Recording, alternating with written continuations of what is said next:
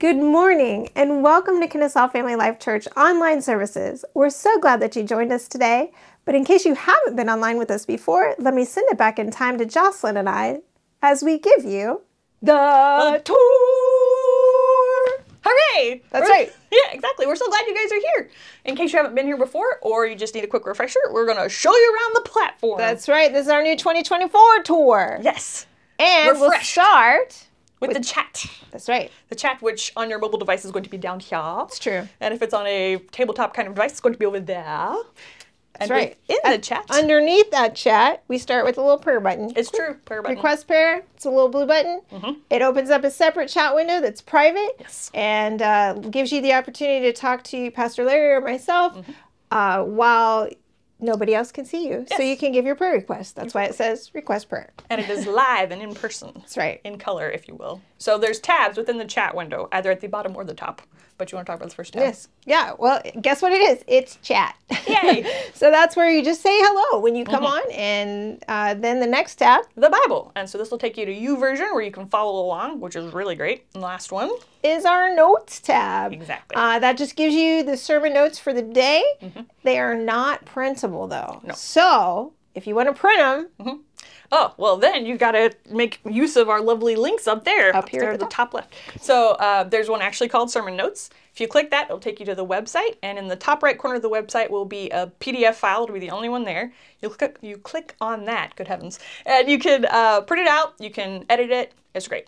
you can. And then uh, the first tab there is our giving tab. Yes. Um, and that is, I mean, it, it takes you to the website giving page so you can give in the offering if you want to. Mm-hmm. Uh, it's a very quick, easy setup. So no worries on that. Mm-hmm. And then our next link Next one is volunteer. So that'll take you to the volunteer page of the website. It gives you more information about different volunteer opportunities. It's also the place you go if a waiver needs to be filled out or Yep. anything like that. We always put the link if there's a waiver. Mm-hmm. Always. Always, always. then the one after that it was sermon notes, but after that Is our prayer tab. Hooray. Or link. Yes. It takes you to the prayer page mm-hmm. on our website, and that's just a little Google form.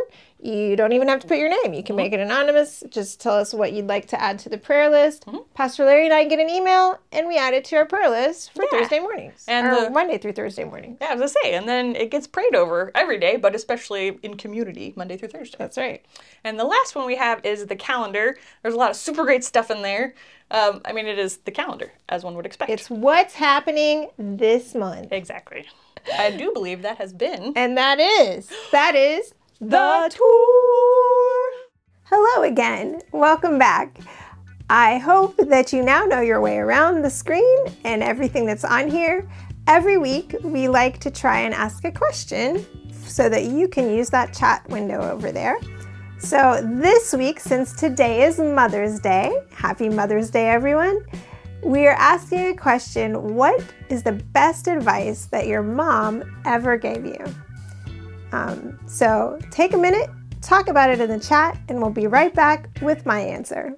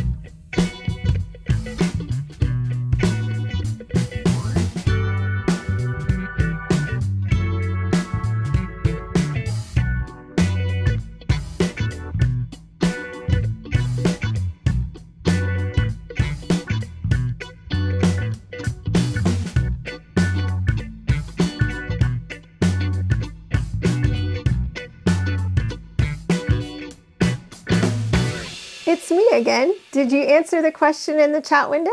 I hope you did.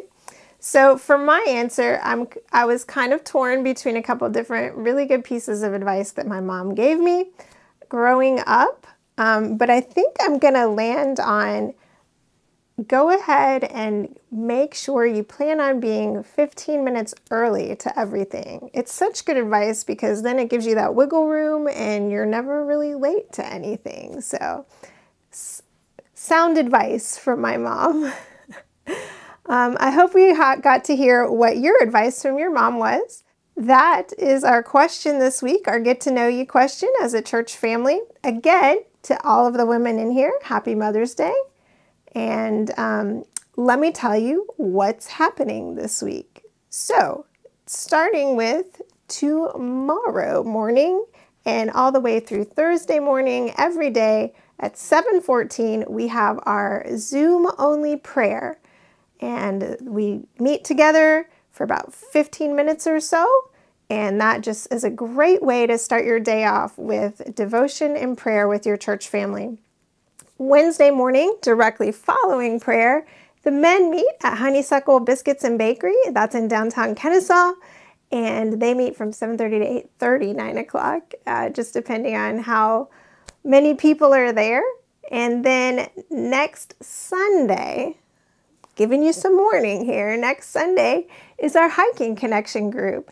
And we will meet at Desktop at 3.30 and we're going to drive a little bit further this time than we normally do and do a nice hike out. So be on the lookout for that information.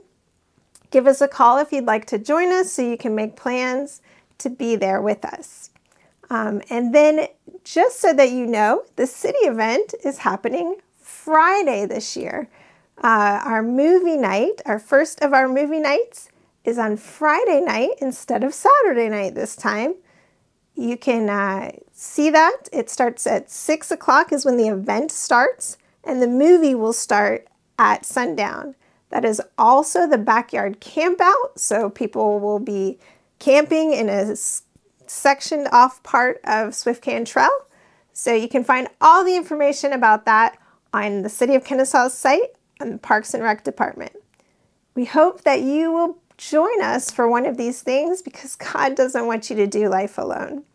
So get plugged in, get connected, and we are hoping to see you at one of those. Before we move on with the rest of our service, let me just take a moment to pray. Let's just pause and ask God to truly speak to us this morning. Pray with me now. Father, I'm so thankful for this beautiful day. Lord, for this church family, for all the people that you've called to be a part of it. God, I pray for each and every one right now. I pray that those that are watching this online, that you would just be with them, that they would sense your presence this morning. God, that you would draw us close to you because we were here.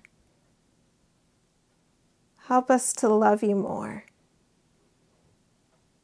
God, speak to our hearts this morning. In Jesus' name, amen. Let's worship him with our music. God, we're so thankful for the ability to worship you together, even when we're not in the same place. And God, that's what we do this morning. We come together, Lord, wherever we're at, and we worship you with everything that we have, everything that we are, God. We lift you up this morning. You are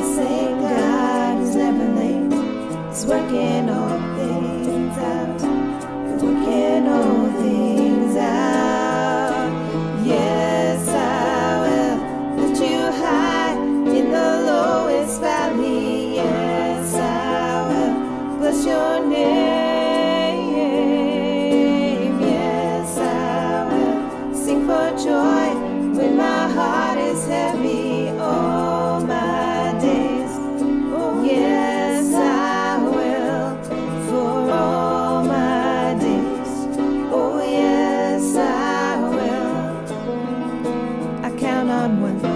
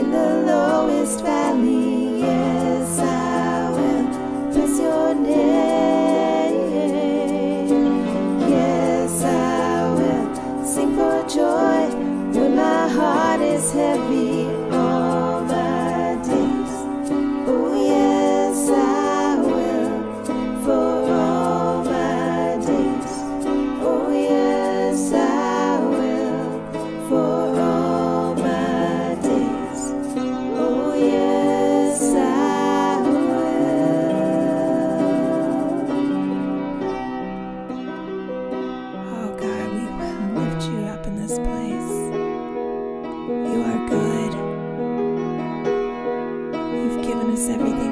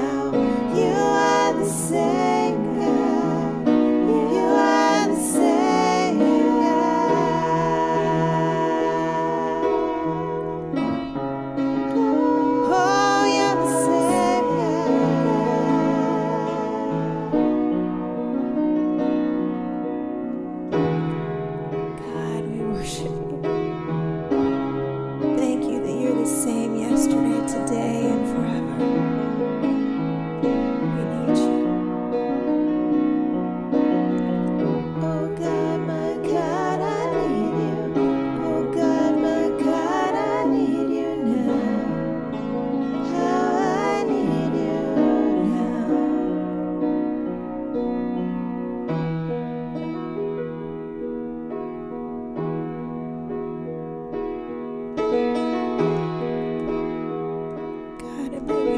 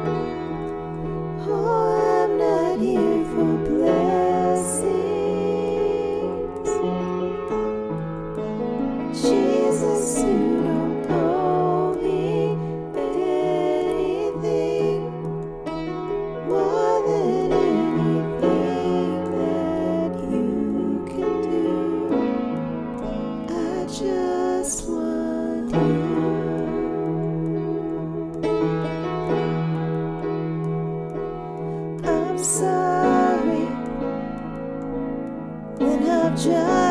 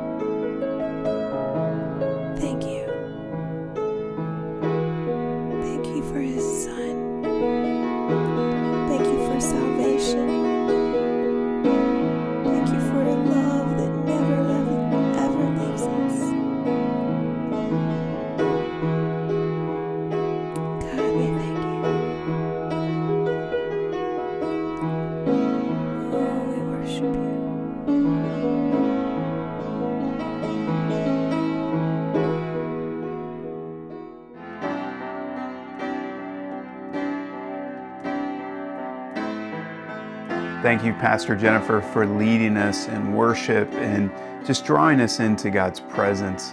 He's always here, but there's just something about worshiping together, music, and how it just draws us and, and focuses us on the presence of God. And so now we're going to take a minute and just pray for one another, pray for our community partners. It's Mother's Day. We're going to pray over our mothers as well. So we want to make sure that we lift one another up. If you have a prayer need, please click that prayer button on the chat area and you can if you hit prayer it's a private window. It doesn't go out to anyone else and we'll pray for you. If you want to just go to our website and email us that is fine as well. Uh, we pray throughout the week so we will add things to our prayer list. So let's pray for one another and pray for the needs of each other. We also want to pray over our community partners which for this month are uh, christ episcopal church. It's also the crane elder law firm and then our missionaries for this month are the Couts family who serve in Colombia. So we want to lift each one of them up. And, we're also going to pray over our offering. This is also a part of our worship is giving to God and giving him our first fruits and saying thank you for providing for us and, and giving us the ability to work and earn money and the favor to do it well. So let's pray and ask God to meet these needs. Lord, we thank you for what you're doing. We thank you for how you pour into us. We ask right now, Lord, that you would fill us with your spirit, that you would meet every need that we have. Lord, help us to be conscious of you. Help us to focus on you, Lord. When we get stuck in our minds, when that the enemy battles against us and we start to get focused on everything that's around us, help us to focus on you, Lord. And I pray that you would give us joy and peace and patience in the midst of trials and difficulties. Lord, I pray over those that are struggling in their bodies. Lord, we pray that you would bring healing over physical pain, arthritis, Lord, uh, cancer. We just ask that you would remove it. Lord, we pray that you would touch those that are battling with diabetes. Lord, we know that there have been some that have been in accidents and have been struggling. Lord, we pray right now for healing over their bodies. We ask that you would, uh, Lord, be with our event on Monday, the Words Are Heart event, mental health uh, roundtable. Lord, we pray that as we discuss things with concerning our mental health, that we would learn and grow and, and become stronger in that. And Father, I pray that you would just guide and direct our finances today. Help us to be good stewards of what you've given us. Lord, we thank you for it. We worship you for what you have done in our lives. And, and, Lord, I pray that we would be that we would use what you've given us well. We ask right now that you would touch our community partners. Please be with uh, Christ Episcopal Church. I pray that you would lead, guide, and direct them. Lord, uh, their pastor Ben and, and his wife, Lord, I pray that you would just touch them right now. I ask that you would be with the Crane Elder Law Firm. Lord, be with them and, and bless their business. And Father, we ask that you would touch the Couts family, uh, that you would meet every need that they have, that you give them favor in Colombia, that uh, the funds would be there to provide for them. And Lord, we pray that lives would be changed because of that. Lord, we ask right now that you would keep your hands upon us, be with our community, be with our first responders, our mayor, our city council. And Lord, change us from the inside out today. We want to be more like you, and we thank you for this in Jesus' name. Amen.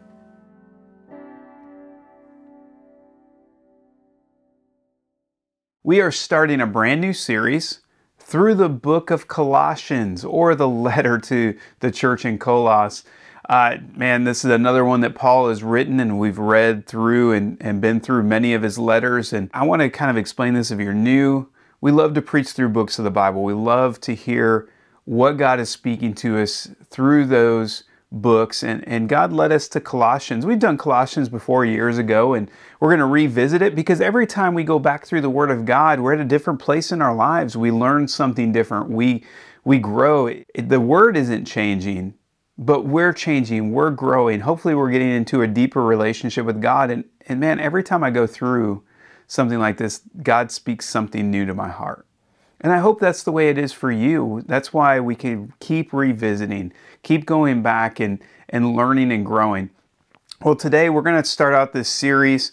Uh, this is a church that Paul did not start, but he had influence in. Um, he was in prison at the time. We think it was during his imprisonment in Rome, which, if you were with our Roman series that we just wrapped up, we know that Paul was later in his life he probably wrote this somewhere between his 60s and his 80s. So he'd been around a while. He had helped form the church. He was speaking wisdom. That was kind of his role as he was in prison. He was still coaching, mentoring, and parenting churches from a distance. And he would write letters when he would find out what was going on in a church. He'd write a letter to maybe correct some doctrine or to help them work through some issues or to make sure that they stayed on course. And this is no different. It's got a little different tone than some of the other letters because he's addressing something different. So let's jump into this. And I want to remind you that our first priority as Christians, and this is what Paul's going to remind us of as well, is to know Jesus, to be in relationship with Him. If you think about Matthew 22, which is our purpose, is to love the Lord our God with all our heart, mind, body, and soul. That means to know Him. And then to love our neighbor as ourselves. But it starts with being rooted in Him. And we titled this series Deeply Rooted. But I also want to point out Philippians 3 8 and 9a. I just wanted to finish the sentence. It's like the first three words of verse 9. There's much more to verse 9, but it isn't relevant to what, well, it's relevant, but not relevant to what what we're talking about right at the moment. Verse 8 says this Yes, everything else is worthless compared with the infinite value of knowing Christ Jesus my Lord. For his sake, I have discarded everything else, counting it all as garbage, so that I could gain Christ and become one with him. It's about knowing Jesus, getting deeply rooted into him. That's our purpose. That's our number one priority as Christians. It's the most significant thing we can do. So we titled this message about deep, being deeply rooted. It comes out of Colossians 2, verse 7. Paul actually says this let your roots grow down into Him and let your lives be built on Him. Then your faith will grow strong in the truth you were taught and you will overflow with thankfulness. We're using that as kind of like the baseline for the whole series. We're going to talk about other things, but it's all going to be pointed to growing in our relationship with God and in relationship with others. And really, that's what our spiritual lives are about. So, we're going to see how that relates together and what it means on this journey as we grow deeply rooted in Him. So let's go to chapter 1 of Colossians and let's read the first 14 verses and then see what Paul's speaking to us out of this. Verse 1 This letter is from Paul, chosen by the will of God to be an apostle of Christ Jesus, and from our brother Timothy. We know that Paul mentored Timothy. Timothy was a young pastor. We are writing to God's holy people in the city of Colossus who are faithful brothers and sisters in Christ. May God our Father give you grace and peace. We always pray for you and we give thanks to God, the Father of our Lord Jesus Christ, for we have heard of your faith in Christ Jesus and your love for all of God's people, which come from your confident hope of what God has reserved for you in heaven. You've had this expectation ever since you first heard the truth of the good news. The same good news that came to you is going out all over the world. It is bearing fruit everywhere by changing lives, just as it changed your lives from the day you first heard it and understood the truth about God's wonderful grace. You learned about the good news from Epaphras, our beloved coworker. He is Christ's faithful servant. He is helping us on your behalf. He has told us about the love for others that the Holy Spirit has given you. So we have not stopped praying for you since we first heard about you. We ask God to give you complete knowledge of His will and give you spiritual wisdom and understanding. Then the way you live will always honor and please the Lord, and your lives will produce every kind of good fruit. All the while, you will grow as you learn to know God better and better. We also pray that you'll be strengthened with all His glorious power so you will have all the endurance and patience you need. May you be filled with joy, always thanking the Father. He has enabled you to share in the inheritance that belongs to His people who live in the light. For He has rescued us from the kingdom of darkness and transferred us into the kingdom of His dear Son, who purchased our freedom and forgave our sins. Love this passage. And the first thing, our roots are in Jesus. That's the that's where it starts. That's where it begins. We're deeply rooted in Jesus. And that's what I love about even go back to 10. He says, then the way you live will always honor and please the Lord, and your lives will produce every kind of good fruit while you grow and as you learn to know God better and better. That's why he says we, we're praying that God will strengthen you and that your endurance and patience will grow and that you'll be filled with joy and thanksgiving. If you look at those last few verses, Paul is saying this is the goal, this is what we want. We're praying that God will grow his fruit in your lives, that you'll be deeply rooted, that you'll know him better. So our roots are found in Jesus. That goes back to remembering why we do what we do. Why are we digging roots into Him? Why are we pouring ourselves in? It's because of the grace that He's given us. It's because of the hope that we have in Him. It goes all the way back to the beginning when you think about what Jesus has done for us, that we have hope in heaven, that we have hope that we are His. That's the point of all this, that we are His and we are deeply rooted in Him. You know, whenever I talk to somebody about what they're trying to accomplish or where they're going in life, uh, whether it's been as a health coach or coaching other churches, I always talk about remember why you do what you do.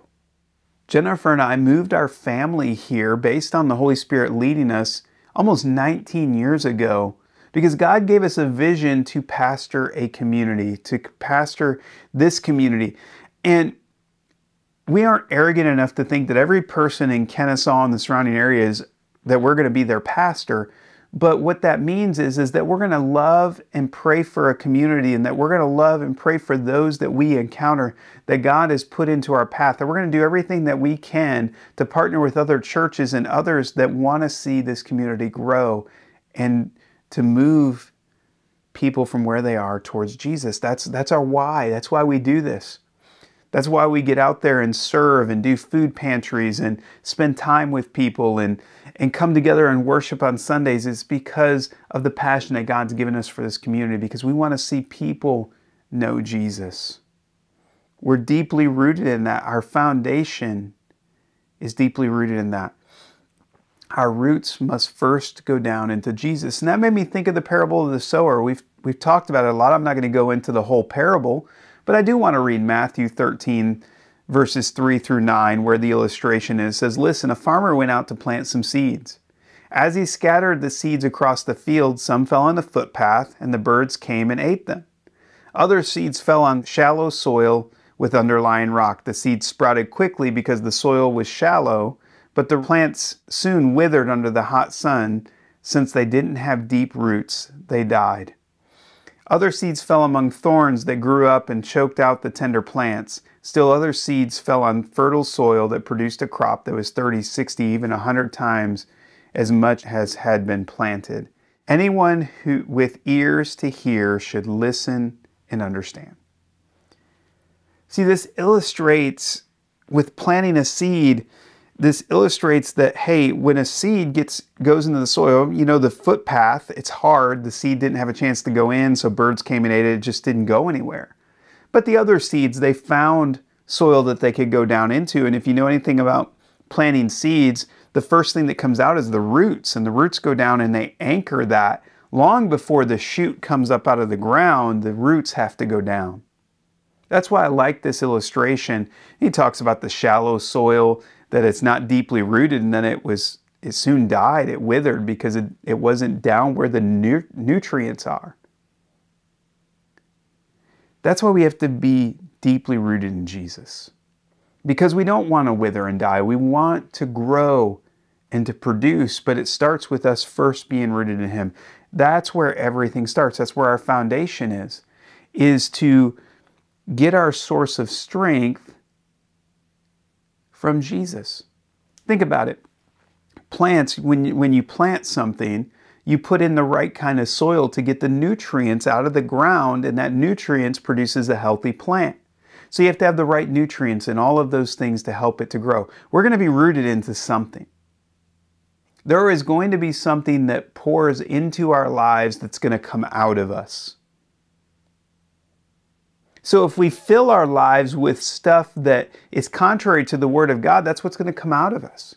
If we allow bitterness and hate towards somebody else for our lives to take root in that bitterness and hate, that's what's going to flow out of us. That's why we have to remember the grace and the love of God and what Jesus has taught us and learn from His words, and then we get deeply rooted into that. That's what's important because that's what we want to come out of us. So our roots in Jesus lead to our mission. That's the second thing. Our roots in Jesus lead to our mission. And I want to look at verses 6 through 8 again. It says, This same good news that came to you is going out all over the world. It is bearing fruit everywhere by changing lives, just as it changed your lives from the day you first heard it and understood the truth about God's wonderful grace. You learned about the good news from Epaphras, our beloved co worker. He is Christ's faithful servant. He is helping us on your behalf. He has told us about the love for others that the Holy Spirit has given you. So, this, this good news that was planted in the hearts of the church there, of the people there in Colossus, had taken root, had sprouted, and it was spreading out. It was going, it was accomplishing the mission. So, our purpose is to love God and love others out of Matthew 22. Our mission is to make disciples, to move people from where they are towards Jesus, to help them to grow, to be planted in Him. And that comes from us first being planted there. Think about farming. I love the illustration. Because you plant one seed, and out of that seed comes much, much fruit. So, take an apple seed. You plant an apple seed, you grow an apple tree, and that apple tree, that one seed produces hundreds of apples. But it first has to grow, it first has to be rooted and then grow and become strong, and then it'll produce that fruit. Well, that's what our lives are doing. We're being rooted in Jesus, and what's being rooted in us is going to come flowing out and it's going to produce fruit. It's going to draw people towards Jesus. We're going to be disciple makers because our lives are deeply rooted in Him and in His Word and who He is. It's going to flow out of us. That's what the Holy Spirit does. These seeds have been planted, they take root, they begin to grow, then they produce fruit. That's the beauty of all this. Our mission comes out of being rooted deeply in Jesus. Whatever you're rooted in is what is going to flow out of you. That's why the things that we're passionate about, the things that we love to do, and it can be hobbies and all of those other things. What do we do? We share those experiences with others. Jennifer I love to travel. We love to share that experience with other people. I love to mountain bike. I love to share that experience with other people. Um, some people love movies. They love to share that experience with other people. That's a part of who we are. And and in that same way, if our foundation is rooted in Jesus, we're going to share that experience with them not by just preaching and beating them over the head. It's going to flow naturally out of us. It's going to bear fruit. And the beauty of it is, is what we're excited about. People that resonate with it will be excited about it as well. They're going to learn from us. That's what it means to be a disciple maker. We're teaching and showing people that. So these farming illustrations, remember, most people understood farming. Even in the cities, they understood how things grow. Paul used farming illustrations. Jesus used farming illustrations. And, and we talked about this. We talk about it a lot. Galatians 5 22 and 23 talks about the fruit of the Spirit. It talks about what the Spirit grows in us, and that's what flows out of us. That's the fruit love, joy, peace, patience, kindness, goodness, faithfulness, gentleness, self control. Those are the things that the Holy Spirit, when we're deeply rooted in Jesus, those are the things that the Holy Spirit grows in us, flows out of us. It's what draws other people towards Christ.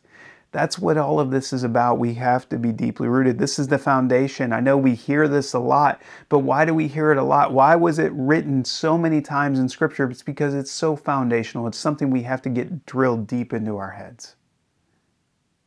I get excited about it because if we would just grab this concept, we will change this world through the power of Jesus. Lives will be changed. They'll get to know who Jesus is. Not because we're great preachers, not because we have a great show, not because we have all this stuff, but because we're deeply rooted in Him and what flows out of us is the love and grace of God.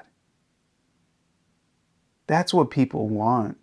People want to know that God loves them and cares for them.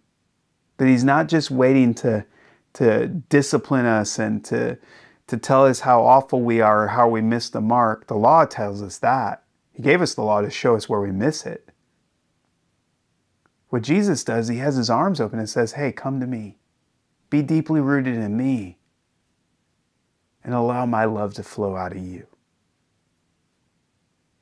You're my creation. I want to fill you with my love. So we have to grow in the things of God. We have to be deeply rooted in Him. So, our last thing is this we need each other for our roots to grow. We need each other for our roots to grow. And this is based off of verses 9 through 14, and, and we've read these already, but look. So we have not stopped praying for you since we first heard about you. We ask God to give you complete knowledge of His will and to give you spiritual wisdom and understanding. Then the way you live will always honor and please the Lord, and your lives will produce every kind of good fruit. All the while, you will grow as you learn to know God better and better. We also pray that you'll be strengthened with all the glorious power so that you will have all the endurance and patience you need. May you be filled with joy, always thanking the Father. He has enabled you to share in, his, in the inheritance that belongs to his people who live in the light, for he has rescued us from the kingdom of darkness and transferred us into the kingdom of his dear Son. who purchased our freedom and forgave our sins. A huge part of having strong roots is having other people in our lives loving on us and praying for us. We're never meant to do this journey alone. And think about roots that go down in the ground. If you just do a solitary plant, it's going to go down in those roots. But you could pull that plant out pretty easily. But if you plant plants together, the roots grow down and their, their, their, their roots intertwine. Then they don't get pulled out so easy. They grow together. That's what the church is. It's a community of believers planted together, helping each other to grow and sustaining each other during difficulties, trials, and tribulations. Remember, throughout the Gospels, throughout Paul's writings, Peter's writings, James's writings, we're going to go through trials, we're going to go through difficulties. Our lives aren't going to be perfect and rosy and everything's just going to be awesome because we serve God. We're going to go through difficulty. And the only way we don't get pulled out by the enemy, the only way we don't wither and die is that our roots grow deep and that they're intertwined together. We're never meant to do this journey alone. We need each other. It's what I find so fascinating about the church the early church and, and the study of the church, you hear me talk about how God never called us to start churches. He called us to make disciples. But making disciples, the natural outcome of that is church because we need each other. Look at Acts 2 42 through 47. This is the birth of the church. This is the first place that the Holy Spirit's been poured out on the apostles. Peter preaches this message. Thousands of people accept this message, and the church is formed. And this is what it says all the believers devoted themselves to the apostles' teaching and to fellowship and to sharing in meals, including the Lord's Supper, and to prayer. A deep sense of awe came over all of them, and the apostles performed many miraculous signs and wonders. And all the believers met together in one place and shared everything they had. They sold their property and possessions and shared the money with those in need. They worshiped together in the temple each day, met in homes for the Lord's Supper, and shared meals with great joy and generosity, all the while praising God and enjoying the goodwill of all the people. Each day the Lord added to their fellowship those who were being saved. Two other times in the book of Acts, you see that same thing happening as new communities sprouted up. Their roots grew down together. They, they shared meals together. They shared their money together. They, they lived in community with one another. Now, at the same time, there were people like Paul before Paul came into relationship with Jesus that was trying to wipe them out. How did they survive? Through the grace of God, through the Holy Spirit, and being deeply rooted together, praying for each other. That's the beauty of the church. Have you ever tried to pull out a plant that's intertwined like that? You can't do it. It's, it's hard. That's why it's so important. I love this image of the church. Our job is to make disciples, not churches. The church is the community that comes together to worship God, to learn and to grow, and to pray for one another and to care for each other. I'm really excited about this journey that God's going to take us on over the next few weeks as we drill our roots deeper in Jesus, as we grow together in Him. So, what are some of the key elements to putting down deep roots? Obviously, studying the Word of God in prayer, it's always a foundational thing. The more we get to know God, the more we understand, the more we grow, and the deeper our roots go. Praying, just, man, spending time with Him, getting to hear His voice, but then praying for each other. And then spending time together as a community. Look, we're intentional about how we do our church. We're different in a lot of ways. For those of you that only come online, you see just this little clip. It's much different in person because we get to interact with each other on a different level. I wish that everybody could come and just be with us every day. And I understand that, that some, for some of you, it's just not possible. But that's why we do things like our game nights and uh, our hiking groups and our craft groups and things that, Pastor, we don't study the Bible when we get together. No, because we study on Sundays together. What we do in those days is we're growing our roots together. We're lifting each other up. We're building relationship so that we can truly become the church. See, if you just come to church and you slip in and you slip out and you don't ever develop that relationship or get connected to the community, it's easy for you to get plucked out. It's easy for the enemy to isolate you. Think about it this way How does a wolf kill a sheep? He first separates it from the herd. Because together, together there, there's power. The, the sheep, even though they're, they're kind of defenseless, they can, can guard against the, the wolf, but if he can get one separate, get one weak, it's easy for him to devour it. We don't want to see anyone devoured. We want to see you grow and be strengthened, strengthened together. That's why community is so important. So the first priority is to be deeply rooted in Christ, and the second is to be rooted together, for our roots to intertwine, so that we can lift each other up, encourage each other, and help each other to grow. I'm excited about this series. I'm excited about what God's going to do in our lives.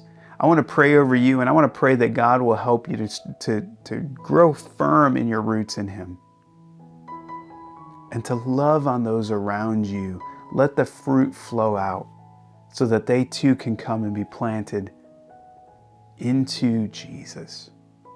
Let's pray together. Father, we thank you for today and we thank you for what you're doing. Lord, we ask that you would help our roots to grow deep into you, that you would, Lord, nurture us and fertilize us and help us to grow. And Lord, we thank you for what you're going to do in us through this series, and we thank you for the lives that are going to be changed by the fruit that pours out of us. Lord, help us to grow closer to you and to each other. And we ask this in Jesus' name. Amen. Thank you for worshiping with us today. We love you, and we'll see you again next time.